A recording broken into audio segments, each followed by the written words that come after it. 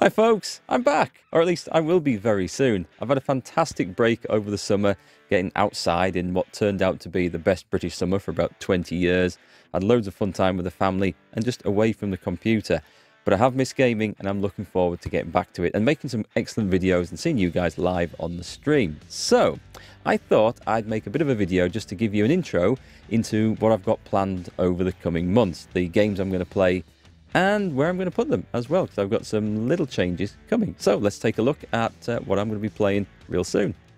So I haven't decided on the order I'm going to play these yet, but one of the games that I've been promising for a long time is an Italy Hearts of Iron 4 playthrough. And this is the perfect time because they've just released the By Blood Alone expansion, which changes a lot in the Italian focus trees. It adds a lot of new stuff to the game. There's an aircraft designer, there's quite a few changes to get my head around, some of which I need to I need to really learn, although I have had a sneak preview of this already and played a bit of it before it got released, which was quite lucky. But I'm looking forward to that, so that's going to be a historical Italian playthrough. If you like your, your deep strategy games, then Hearts of Iron 4 is for you. And I've got another deep strategy game that I'm going to talk about in just a minute too. So I've also just picked up the new Monkey Island game. I think it's Return to Monkey Island. I haven't played one of these since a long time ago, but I loved the original back in the 90s. It's one of my probably favourite games of, of all time, I think, or at least I've got the fondest memories of it. Different art style in this one, but the game seems to have been quite positively received. We'll have to see. But I'm really looking forward to streaming this one and uh, hope you guys are looking forward to it too. Okay, hands up. Who likes Civ 6? Yeah, it didn't really do it for me, I've got to be honest. I was much more of a fan of Civs 1 and 2 and 4 in particular, which I still play today uh, with my mates. This game, however, is Old World, and by request, it will be appearing on the channel. It's very much like Civ 6, except one, it is set only in the ancient world. Here you can see I've been having a bit of a test game as Rome, just to try and learn some of the mechanics. Uh, but it's set in the ancient world as they knew it then, and in particular in the, the Middle East, Babylon, the Hittites, Sumeria, those civilizations, those are the ones that are really focused on and it only takes place in the ancient era. So there's no no progressing to tanks and guns and planes in this. And where it differs again from Civ 6 is that there's a lot more focus on family members and story and dynasty, I guess, in this as well. Otherwise, it feels like it plays very similar. And I wasn't a huge fan of the way Civ 6 played, so will I get on with this one? I don't know. It seems pretty good if you like that sort of thing we'll have to uh, we'll have to put it to the test and find out. But it will be coming to the stream soon by popular request from some of you guys. Okay, moving on, but sticking with strategy. This is Terra Invicta that um, they kindly sent me a copy of to, to stream.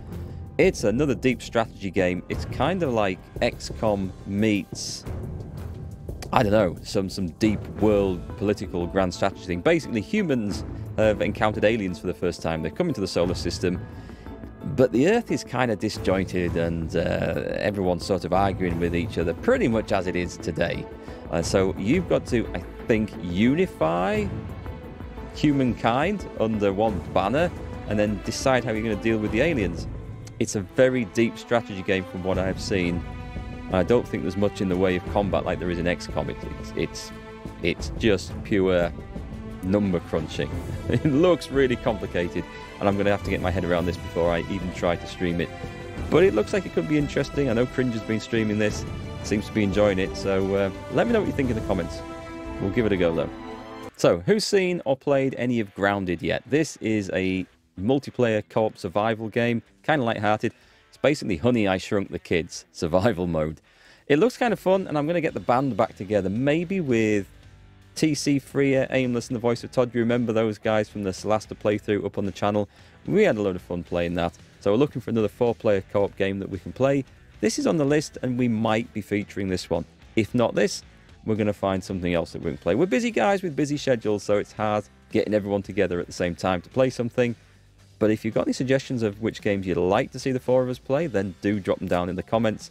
Baldur's Gate 3 is definitely on the list for that, but that's not due out for full release until next year. So a little bit of time to wait. There's also Solasta, Crown of the Magister have got a new expansion coming with some new classes. Would you like to see us play that again, the four of us, with the new classes? Again, let me know in the comments, or let me know on stream when you see us there. Also out later this month is Plague Tale 2. Do you remember the first game that I streamed quite a while ago?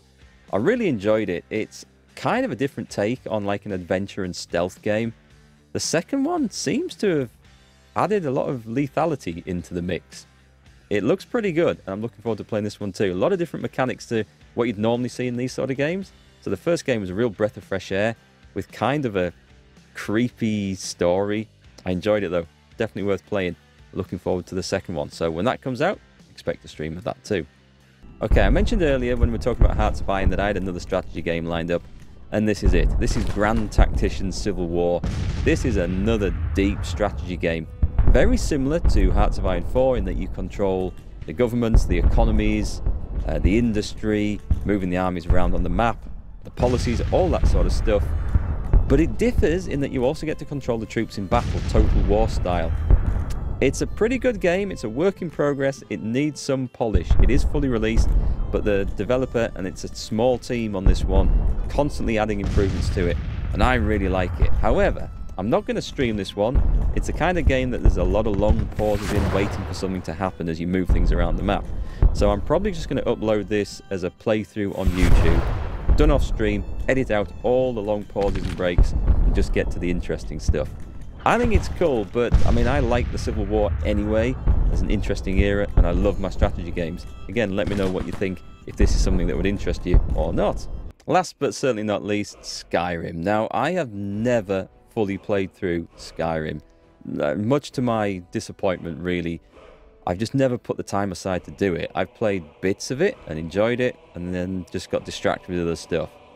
This has been around a long time now, but the, they keep releasing more versions of it. This is the 10 year anniversary version of it I just picked up from GOG.com.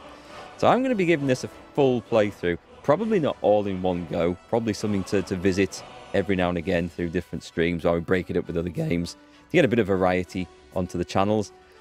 But I want to play it. I, I, I like it. The bits I've played I've really enjoyed and uh, we'll see where we get with that. I know you guys must surely like Skyrim, right? And so that pretty much sums up the list of games I've got planned to go live with at the earliest opportunity. Plus Grand Tactician as well, which we'll be doing non-live and just uploading to YouTube.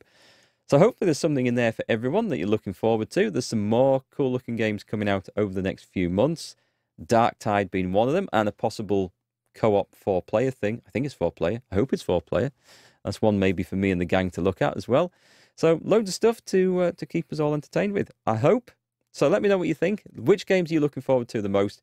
And which are the ones have I missed that you would like to see me play over the coming months? Let me know in the comments. Let me know on stream when you see us. Oh, speaking of that, we might be trying a little bit of a streaming experiment on YouTube throughout October, but there's more details to come on that.